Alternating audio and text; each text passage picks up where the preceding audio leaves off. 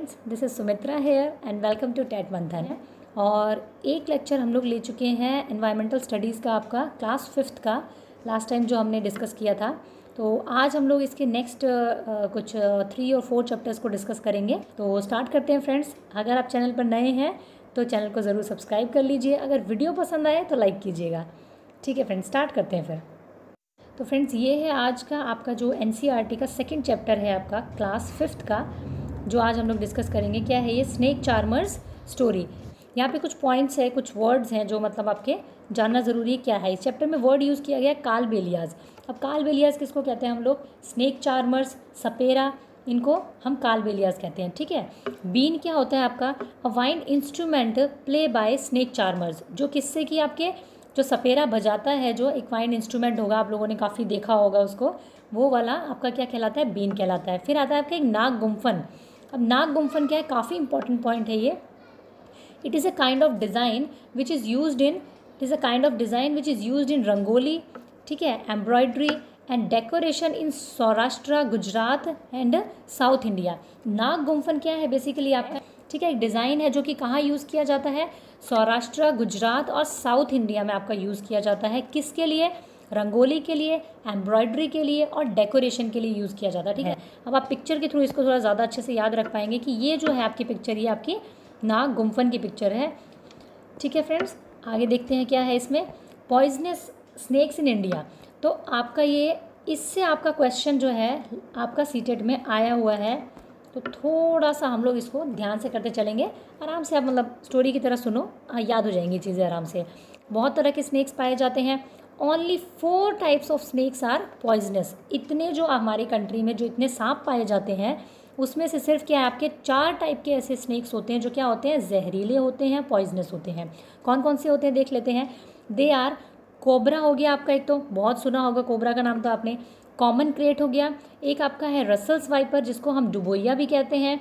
एक होता है आपका सॉस सॉ स्केल्ड वाइपर जिसको हम अफाई कहते हैं। ठीक है? ये चारों स्नैक्स आपके, ये हो गया आपका कोबरा ये तो आप लोगों ने बहुत देखा होगा मतलब जो हम लोग मूवीज़ देखते हैं, हिंदी मूवीज़ उसका मतलब ये ऑल टाइम फेवरेट सांप है। इस तरीके से दो इसमें डॉट होता है और जो मूवीज़ आती थी ना, मैं नागिन तो सपेरा टाइप्स उसमें आपका यही वाला सांप हमेशा मतलब आप लोगों ने मूवीज़ में देखा होगा। ठीक है? फिर आपका ये वाला आपका अफाई है, ये आपका क्रेट है आपका और ये आपका डुबोइया है। तो ये आपके फोर टाइप्स के स्नेक हैं जो पॉइजनस होते हैं मेनली आपका आ, हमारी जो कंट्री में ठीक है? A snake has two hollow teeth fangs जिसको कहते हैं हम लोग। जो तो सांप होता है उसके क्या होते हैं? दो उसके क्या होते हैं? टू उसके हॉलो टीथ होते हैं यानी कि जहरीले जो दांत होते हैं उनको हम क्या कहते हैं? फैंग्स कहते हैं। When its bites the poisonous enter the person's body through the fangs जब वो काटता है तो उन फैंग्स के थ्रू ही क्या होता है? एक पर्सन की बॉडी में उसका पॉइजन जाता है। ठीक है? There is a medicine for snakes bites the medicine is made from the snakes poison and is available in all government hospitals जो स्नेक की जो काटने पर जो मेडिसिन दी जाती है, वो आपकी गवर्नमेंट हॉस्पिटल्स में आपकी मिल जाती है। और किससे बनती है वो? वो आपकी स्नेक्स का जो पॉइजन होता है, उसी से वो मेडिसिन बनाई जाती है। जैसे कहते हैं ना, जहर को जहर काटता है। तो वही वाली कहानी है यहाँ पे। ठीक है, देख लेते हैं आगे। जो इसका फैंग्स की जिसकी मैं बात कर रही हूँ, आपकी जो टू हॉलो टीथ्स की मैं बात कर रही हूँ तो आप देख सकते हैं, ये जो सांप होता है, इसके ये दो आपके, ये दो हॉलो टीथ होते हैं, जिससे कि वो इस तरीके से डंक मारता है। जो आपने मूवीज़ में देखा होगा ना डंक मारता है, फिर ऐसे दो छोटे छोटे से निशान हो जाते हैं तो ये इसकी हॉलो टीथ होते हैं। ये इसकी ग्लैंड से जुड़े होते हैं यहाँ से, जिससे कि पॉइजन इन टीथ तक पहुँचता है और फिर वो ह्यूमन की बॉडी में ये लोग इंसर्ट कर देते हैं। ठीक है? और इस तरीके का कुछ आपका सांप का काटने का निशान बन जाता है। पिक्चर्स के थ्रू आप अच्छे से याद रख पाएँगे इसको। ये आपका निशान बन जाता है सांप के काटने का। जो स्किन होती है ऑलमोस्ट ये यहाँ से जो है निकल जाती है। ठीक है? तो सम अदर फैक्ट्स देख लेते हैं आपके। Snake charmers snake charmers identify a snake bite from the marks of the bite जो स्नेक चार्मर्स होते हैं, जो सपेरे होते हैं, वो सांप को पहचान लेते हैं। जो सांप की बाइट होती है, जो काटने का निशान होता है ना उसको देख करके वो सांप को पहचान सकते हैं, सांप को आइडेंटिफाई कर सकते हैं कि किस तरह के सांप ने काटा है। ठीक है? Kalbelias gift snake to their daughters when they get married जो सपेरा लोग होते हैं, वो क्या करते हैं? उनकी बेटी की जब शादी होती है तो उसको क्या करते हैं? स्नेक्स गिफ्ट में देते हैं। Snakes are friends of the farmers they eat the rats in the fields otherwise rat would eat the crops जो स्नेक्स होते हैं, वो क्या होते हैं? आपके जो किसान होते हैं, एक तरह से उनके क्या होते हैं? दोस्त होते हैं। क्यों? कैसे कि जो स्नेक्स होते हैं, वो क्या करते हैं? Eat the rats in the field वो क्या कहते हैं? चूहों को खा जाते हैं। अगर वो चूहों को नहीं खाएँगे तो चूहे जो है, फ़सल ख़राब कर देंगे। ठीक है? बीन क्या होती है आपकी? Been rumba and khanjari instrument are made from the dried gourd यानी लौकी से बने हुए ये जो होते हैं ड्राइड जो गॉड होती है, उससे ये तीनों इंस्ट्रूमेंट बनते हैं। बीन रुम्बा और खंजीरी इंस्ट्रूमेंट तीनों जो आपके लौकी से बनते हैं गॉड से बनते हैं ड्राइड गॉड से। सूखी हुई जो होती है उससे। ठीक है? नेक्स्ट आपका लेसन थ्री इसमें है आपका। फ्रॉम टेस्टिंग टू डाइजेस्टिंग यानी कि खाना चखने से लेकर के डाइजेस्ट होने तक कौन कौन से पॉइंट्स आपके जो हैं, वो इंपॉर्टेंट है, देख लेते हैं एक बार के लिए। तो इसमें आपका क्या है फ्रेंड्स ये देखिए digestion begins in the mouth अगर डाइजेशन की हम बात करें, वो कहाँ से स्टार्ट होता है? हमारे मुँह से स्टार्ट होता है, ठीक है? और food is mixed with the fluid called saliva जो हमारा खाना होता है, वो हमारे मुँह में जाने के बाद में किसके साथ एक फ्लूड होता है जिसके साथ वो मिक्स होता है और उसके बाद वो पचता है तो हमारे माउथ से स्टार्ट होता है हमारा जो टेस्टिंग होता है वो स्लाइवा होता है। जो स्लाइवा बनता है उससे फिर हमारा खाना पचता है।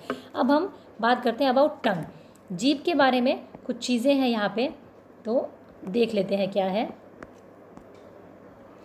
ये आपकी जो टंग होती है इसके थ्री पार्ट्स होते हैं यहाँ यहाँ और यहाँ। जो आपका टंग का जो बिल्कुल ये आ, बिल्कुल एंट्रेंस जो पार्ट होता है वो आपका क्या है स्वीट चीज़ों को ज़्यादातर करके महसूस कर पाता है, जो स्वीट टेस्ट होता है, उसके लिए सेंसिटिव होता है। जो आपका मिडल पार्ट होता है, ये आपका सौर और सॉल्टी यानी खट्टी और जो नमकीन चीज़ें होती हैं, उसके लिए सेंसिटिव होता है। और जो आपका ये जो लास्ट पार्ट होता है थर्ड नंबर वो आपका क्या है, कड़वी चीज़ों के लिए जो क्या होता है सेंसिटिव होता है। तो ये थ्री आपके टंग के पार्ट हैं, जो कि आप याद रखेंगे।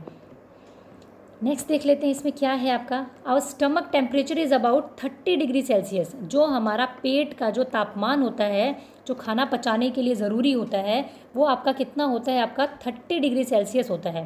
पेट के अंदर का जो तापमान होता है, कितना होता है? थर्टी डिग्री सेल्सियस होता है। Our sense of taste and smell are interlinked कैसे होते हैं?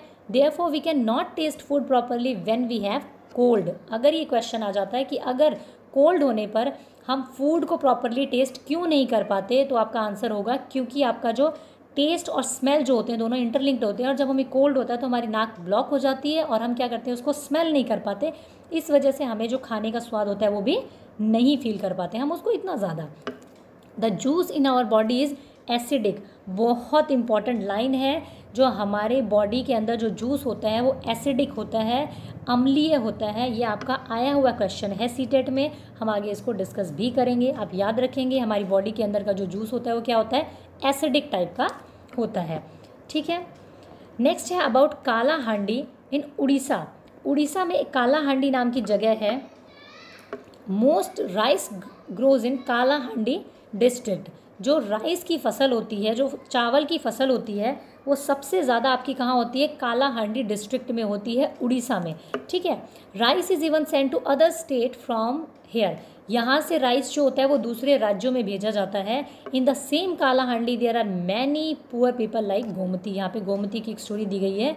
उसी की तरह इतना यहाँ पर धान होने के बावजूद भी, इतना चावल होने के बावजूद भी कि दूसरे देशों में चावल जाता है, उसके बावजूद भी यहाँ पर क्या है, बहुत ज़्यादा गरीबी है, कहीं ना कहीं भुखमरी है यहाँ पर, ठीक है?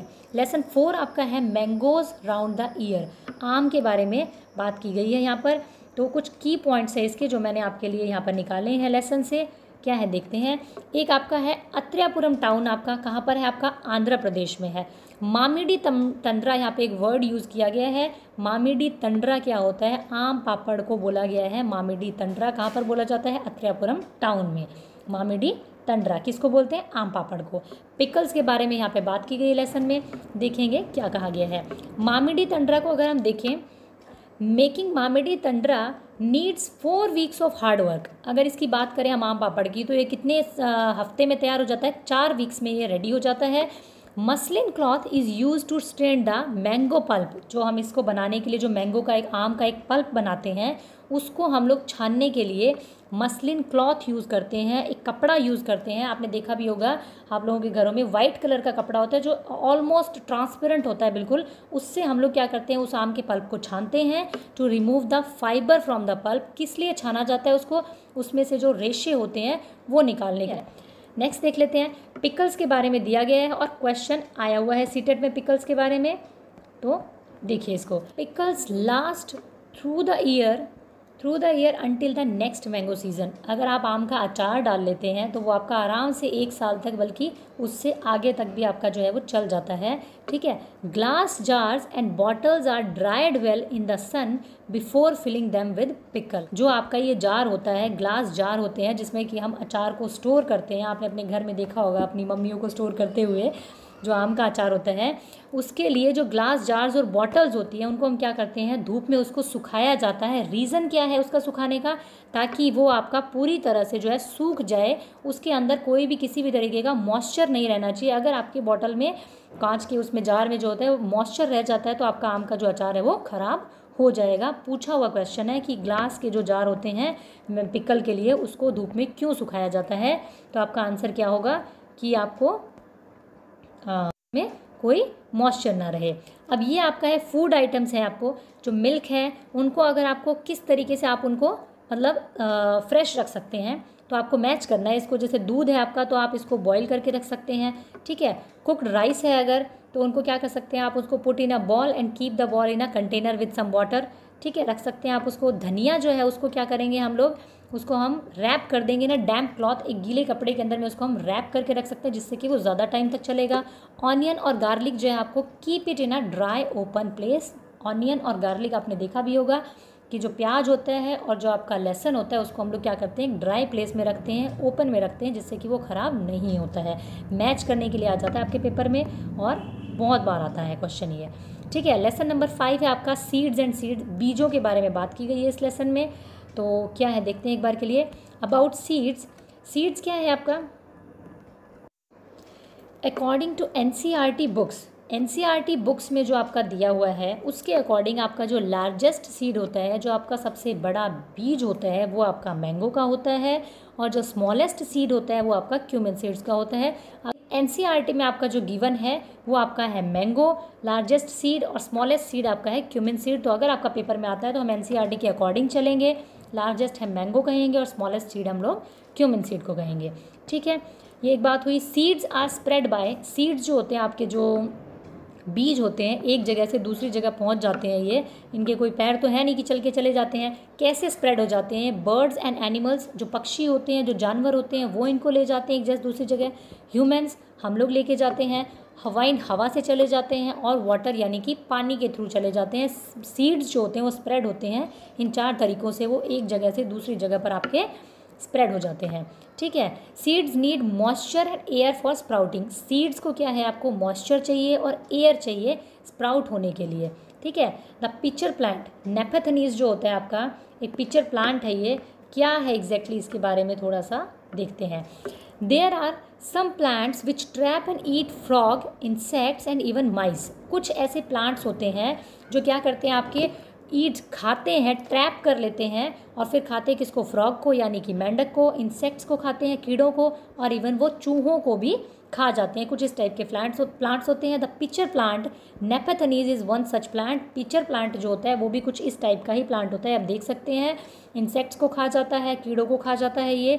It is found in Australia Australia में और इंडोनेशिया में पाया जाता है। And in our country in India में ये कहाँ पाया जाता है? आपका मेघालय में पाया जाता है। इंडिया की बात करेगा अगर ये तो आपका ये कहाँ पाया जाएगा? मेघालय में पाया जाएगा। बाकी जगह अगर पूछे तो ऑस्ट्रेलिया और इंडोनेशिया में पाया जाता है। ठीक है? It has a picture like shape and the mouth is covered by a leaf ये देखो साइज़ में बिल्कुल ये पिक्चर की तरह होता है और ये कवर किया होता है। इसकी एक पत्ते से आप ये कवर होगा। The plant has a has a special smell that attracts insect to it जो इसकी जो प्लांट होता है ये, इसके अंदर एक बहुत ही अट्रैक्टिव स्मेल होती है, सुगंध होती है, जिसकी वजह से किसको इंसेक्ट्स को क्या करता है अट्रैक्ट करता है अपनी तरफ़, ठीक है? When insects land on the mouth on the plant he trapped and can not get out what a way to hunt जब इंसेक्ट इसके ऊपर आगे बैठती है, इसकी स्मेल को सूंघ करके तो ये क्या करता है, उनको ट्रैप कर लेता है और अपना जो ये माउथ का इसका जो है वो शट कर लेता है। इस तरीके से ये क्या करता है, उनको शिकार करता है इंसेक्ट्स का। नेपेथनीज इसका नाम है। इंडिया में ये मेघालय में पाया जाता है। इंपॉर्टेंट पॉइंट है ये। अबाउट वेलकरो वेलकरो क्या है अब आपका ये?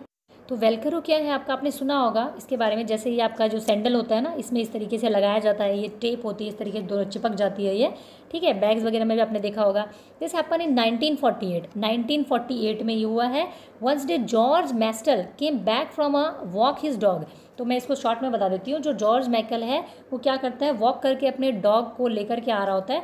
तो कुछ बीज देखता है वो कि उसके डॉग्स के ऊपर भी चिपके हुए हैं, उसके कपड़ों में भी स्टिक हो रखे हैं वो। तो देखता है कि किस टाइप के जो कुछ वो ऑब्ज़र्व करता है कि सीड्स माइक्रोसॉफ्ट से देखता है वो उसको कि ये सीड्स जो है वो है क्या एक्चुअल में? He saw that seeds has minute tiny hooks with got stuck to cloth और फर वो देखता है कि जो सीड्स हैं, उनके अंदर कुछ टिनी हुक्स हैं, जिससे कि वो क्या है, वो स्टक हो रहे हैं उसके कपड़ों में इस तरीके से। तो उसके दिमाग में आइडिया आया ये वेलकरो बनाने का।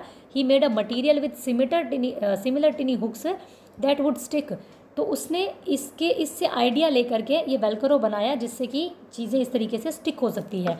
तो Velcro is use to stick together many things किस चीज़ के लिए यूज़ होता है? क्लॉथ्स में यूज़ होता है आपको उसको इस तरीके से स्टिक करने के लिए।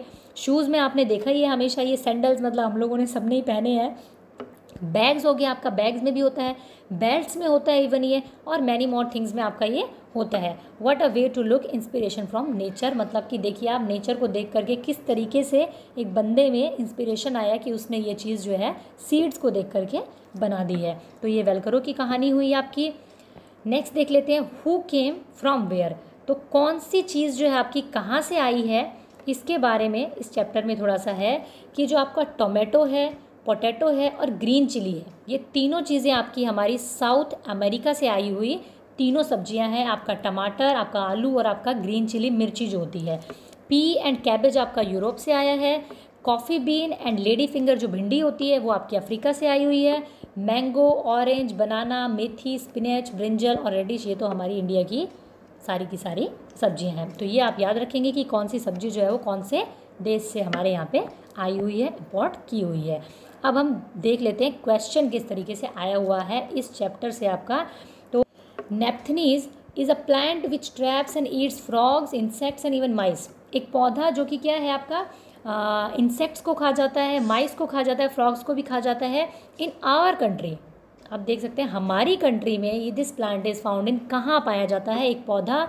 जो कि मेंढक, कीड़े यहाँ तक कि चूहों को भी खा जाता है। हमारे देश में ये पौधा कहाँ पाया जाता है? अभी अभी हमने पढ़ा है कि अरुणाचल प्रदेश है, मेघालय है असम या फिर उड़ीसा तो आप खुद सोचिए। अभी हमने पढ़ा कि हमारे देश में ये जो है, मेघालय में पाया जाता है। उसके अलावा ये ऑस्ट्रेलिया और इंडोनेशिया में मिलता है, लेकिन ये हमारे देश में मेघालय में पाया जाता है। नेक्स्ट क्वेश्चन देखते हैं, जो कि क्या है? Glass jars and bottles are dried well in the sun before filling them with pickle. Why is it so? कांच के जार और बोतलों को उनमें अचार भरने से पहले सूरज में अच्छी तरह से सुखाया जाता है, ऐसा आपका क्यों किया जाता है? तो अभी अभी हमने देखा कि to remove the dust from him इसमें से मिट्टी हटाने के लिए to remove the moisture completely पूरी तरह से उसमें नमी हटाने के लिए पिकल्स को टेस्टी बनाने के लिए या इंक्रीज देयर टेम्परेचर ठीक है, उनके टेम्परेचर को इंक्रीज़ करने के लिए। तो डस्ट तो हटानी नहीं है हमें पिकल टेस्टी हमारी मम्मी बनाएँगी, ठीक है, धूप से होगा नहीं इंक्रीज़ हमें टेम्परेचर करना नहीं है। मॉइस्चर को वो कम्प्लीटली क्या करता है, आपका सुखा देता है रिमूव कर देता है। तो ये था हमारा आज का लेक्चर जिसमें कि हमने कंप्लीट किया है एन e के थ्री और फोर चैप्टर्स को एक वीडियो में। तो अगर वीडियो पसंद आई हो तो आप वीडियो को लाइक करें, अपने सभी फ्रेंड्स के साथ में शेयर करें, जो कि सी e की प्रिपरेशन कर रहे हैं। Thank you keep learning keep supporting